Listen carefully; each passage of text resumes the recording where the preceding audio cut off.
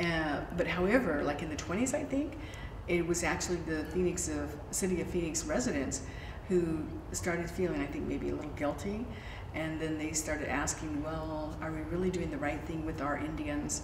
And um, should we actually have college educated teachers teaching them?